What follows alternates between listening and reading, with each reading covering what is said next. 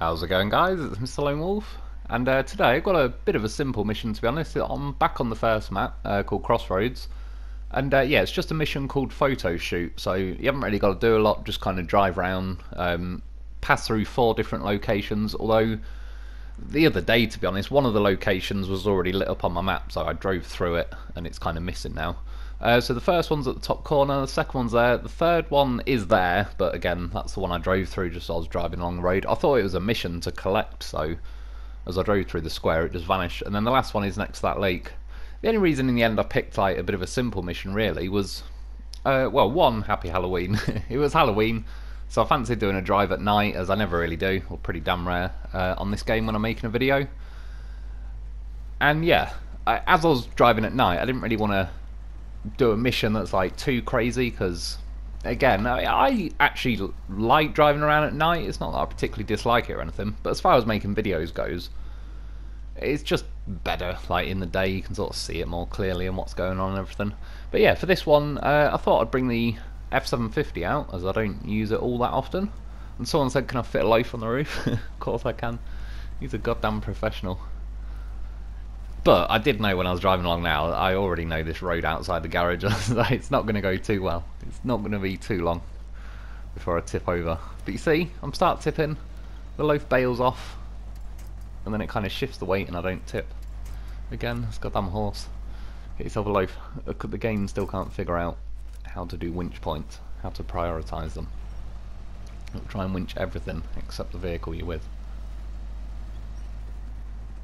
And yeah, overall, it's been a little while since I've driven the uh, F750. I still do like it quite a lot. The only thing, mainly, I'd change if I could with this vehicle is dial up like I don't know if it like the top end or the power a little bit. It's odd. It's one of those vehicles that even though they've put like, eventually they added an upgraded engine and it helped a little bit, but yeah, it just needs one more little little boost, I reckon. But one thing I've always liked about it, it's a very nice stable vehicle really. Um, the steering is one of the nicest steering in the game. And obviously uh, all the amount of attachments and stuff you can have. Uh, it holds quite a lot of repair points, fuel, all that kind of stuff. And uh, yeah, as a bonus, you can still get a goddamn horse on there. Which is now even more repair points, I suppose. And yeah, you get a loaf on anything. If it can't fit a loaf on, is it even worth driving? Probably not in my book. But yeah, overall, I do like this vehicle, and you can, I believe you can put a crane on the back. Uh, I'm sure, yeah, and you can get a saddle and stuff. It's got quite a few options. That's one thing I do like about it. You can kind of mix and match it. And uh, yeah, just as a kind of default, I just put everything on it, every repair add-on thing you can get. And it's got like a roll cage going over it as well, where you can fit more on. So that's what I think they need to do. Like with a loaf, though, there's a, quite a few vehicles in this game. Ones that came out post the original games, you got like the season one and season two stuff. They've kind of got used to the idea of you get more trucks now that have got a roof rack on them of some kind, and yeah, they've got sort of different add-ons on that. Whereas a lot of the like original vehicles in the game, such as the Loaf, for example, um, yeah, there's a few ways that they could kind of up it a little bit, Get more supplies. But again, he is packing major roof rack, so I can't really complain. He's got like double the double the points of uh, a lot of vehicles in the game. But yeah, you can see now with the F750, like this is the weird thing. It kind of it keeps a nice pace. Well, torque-wise and that, I don't know. It's hard to explain. It sort of handles a bit different to how most vehicles do. Some of them either sort of feel underpowered and they kind of limp their way across the map all the time. Some I don't know if I go as far as to say overpowered, but some of the most powerful vehicles in the game, once you drop it in higher range and all that, they kind of take off and go hell for leather until you smash your way up on the uh, the countryside. This one, it's just odd. It sort of feels like the equivalent of a powerful vehicle, but you only got it on like half throttle. So it kind of keeps ticking and going along, but it's there's always something feels like you're a couple miles an hour kind of off where you'd want to be. But yeah, it's a strange one, because then when you get to like a rough bit of terrain, you'd expect it to throw in the towel pretty quickly, but then it just never quite does for the most part anyway, obviously you can get it stuck as you can with any vehicle, but yeah, just when you get like to an awkward bit, you keep flooring it and it's feels like it's a second away from uh, giving up and getting stuck, but then it it just about keeps going. And even though the loaf did fall off the roof, I had to keep bringing them with me, just in case if I tipped over or anything, especially at night. One of the things when I was driving around at night as well, I was trying to see if there's if I could notice like any eyes in the trees and stuff, because it was back on Michigan, I think it was, on Black River. You could definitely, as you'd look around, and like you drive past trees at night, after your headlights kind of went past, you could see little uh, like eyes in the trees and that where there's supposed to be animals. I've never seen anything like that since though, so they don't seem to have followed that idea on. But yeah, as it was Halloween, I've not really even noticed that it's Halloween. Anything I've noticed, because the clocks went back yesterday, it messed me up loads. I woke up really early today, and uh, yeah, just when I was thinking like, oh, it's nearly midnight, it's about, even though it's only an hour it went back, it feels like it's completely messed up my time, so I didn't feel that great today, so I didn't really get stuck into like a particularly big mission anyway. But yeah, I've not had any trick-or-treaters or anything. One of the uh, perks of living right on the edge of the village. no one can be bothered to walk this far to attempt knocking on my door. Maybe they did years ago when I first moved here, but I won't be answering that shit. Even if there is a bunch of eight-year-olds outside and it was daylight, like hell no. Start boiling the kettle. I only just realised now, I was towing the goddamn horse. He didn't even have his engine on. I don't get any difference either. As I've said before, he's weightless. He only weighs something when you need him to. But yeah, that's another kind of thing with this vehicle. It's like the pace of it is towing the loaf, whether it's like engine on or off. It just never quite gets up to that like high range speed. I'll just edit this bit out. There's a mission up there.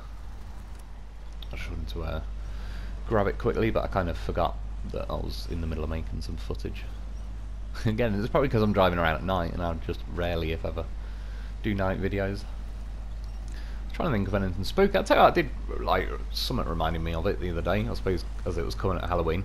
A year or two ago, I was saying about like creepy stories that happened to me, and um, yeah, I said about like when I was a kid staying at uh, my grandparents. I seen like a, this fucking scary ghost thing come through the wall.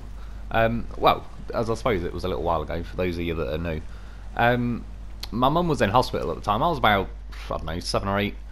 Um, yeah, my mum had E. coli poisoning, so I had to go and stay at my grandparents, which was my dad's parents. And my granddad was alright, but my grandma was a bit of a fucking bitch, to be honest. Um, but yeah, we had to go and stay there. I didn't particularly want to. And uh, yeah, for context, the house was like hundreds of years old, and they used to do the public hangings there um, back in the day when like hanging was legal and all that sort of stuff. It was a pretty freaky old house anyway. But I slept in the back, um, one of the back bedrooms, and yeah, I woke up one day and it's one of them. Where, I don't know, like I seen basically this fucking bright yellow with like a purple outline or something, like scary looking ghost person with like the jaw hanging off of them and all sorts. Come out the wall, walk across like the bottom of my bed, and then go through the other wall. And it was one of them where, obviously, it scared the shit out of me when I was a little kid, but you know, it's one of them where adults are kind of saying, "Oh yeah, you're just a kid, you had a bad dream, all that sort of stuff." So I sort of brushed it off, and it is what it is, and that. And uh, my sister was in the room as well. She's a few years younger than me, so she was yeah, like five years old or whatever. Um, and then that was that. But a year or two ago, when I made the uh, the Halloween video and I mentioned it, my mum, she doesn't really watch the videos, but when she goes out in the morning, uh, she puts my videos on because she's got some pet dogs, and they know my voice and that. So it was one of them originally when I started the channel. She was kind of putting them on to bump up the watch time a bit.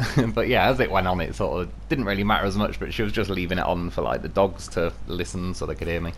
And then um, at one point when she got home, I was just happened to be when I was mentioning like that ghost thing and then uh, later, or whatever in the week, uh, my sister went around there for when she was on like a lunch break. She went around for a coffee and that.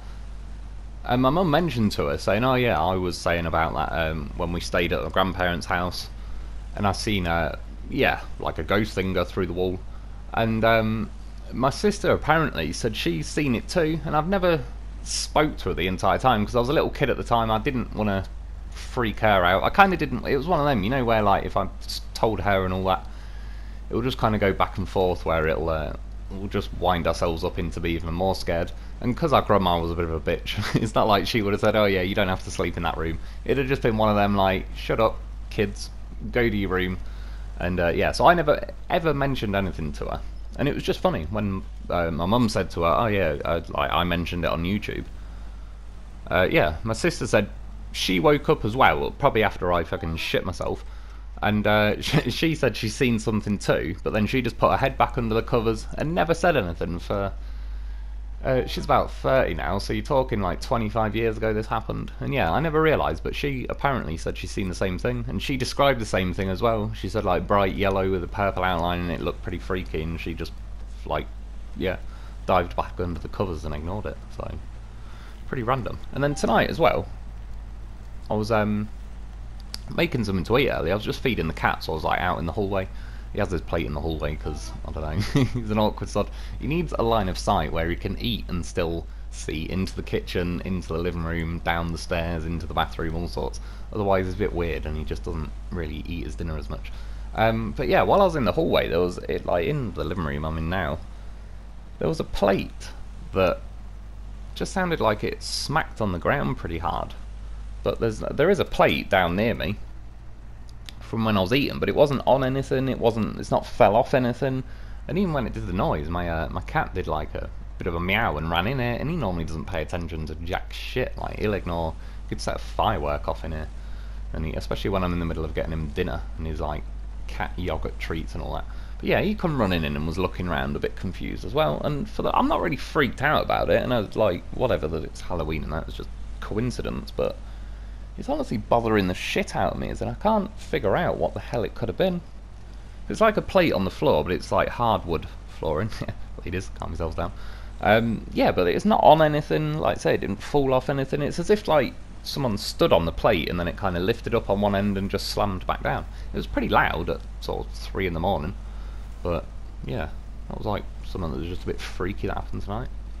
Well, again, not freaky. I just don't know what the hell it was. Well, I know it was a plate because I know the noise, but I don't know how the hell it did it. See, you see there going through like that mud. It looks like you're literally a second off and it's just going to start wheel spinning by itself and uh, not keep going. But for the most part, it's pretty rare to actually get this vehicle stuck. And is it now when I'm driving along? One of these rocks here deletes the crap out of me as I said with this mission, it's I don't know, it, not that I dislike the mission. I changed it to daytime by the way, just so I could see the vehicle for a little bit because I didn't realise this F750's got a unique paint job. It doesn't look too bad. That's why I got a, a pink loaf. going for a bit of colour coded action. Um, yeah, as I said, this is a bit of a kind of boring mission in a way. There's not really a hell of a lot going on, but like I said, Halloween night driving. Didn't really want to uh, attempt too much of a juicy mission. Yeah, you see there, hit that rock. I don't know what's going on. It's like a bit of an awkward hitbox. Even took a bit of a hit on me loaf. He's a goddamn horse. Thankfully, though, this thing is, if nothing else, absolutely covered in repair points. Yeah, that mission done. Again, it's just, it's one of them. I'm going to make a video on it at some point, or I'm just going to complete the mission and not make a video, so I thought I may as well. And then, yeah, I was kind of a bit disappointed that I hadn't rolled at any point so drove over that rock, sent in the loaf. I was just doing doing a few uh, circles there, cut it out. Bit of loaf drifting action. He's goddamn professional. Job's a good one. He can flip the F750, no problems. And then I couldn't be bothered getting like actually back on the top because I could do with being nearer trees to use the winch points and that. But if you reverse into stuff with a loaf, see, in fact, this is perfect proof. He reversed up the side of the F750 when I wanted to, but then now I wanted to see if I could tip the F750, and credit where it's due to the loaf, considering his back end's up in the air and he only has two wheels on the floor, he's still got enough oomph to uh, flip it, so yeah. Get yourself a loaf, that's what we learned from this video. But yeah, that's about it today. Uh, I hope you enjoyed, I hope that helps. Thanks for watching. Thanks to my Patreon members. Get yourself a loaf because he is a goddamn professional, and I'll be back soon.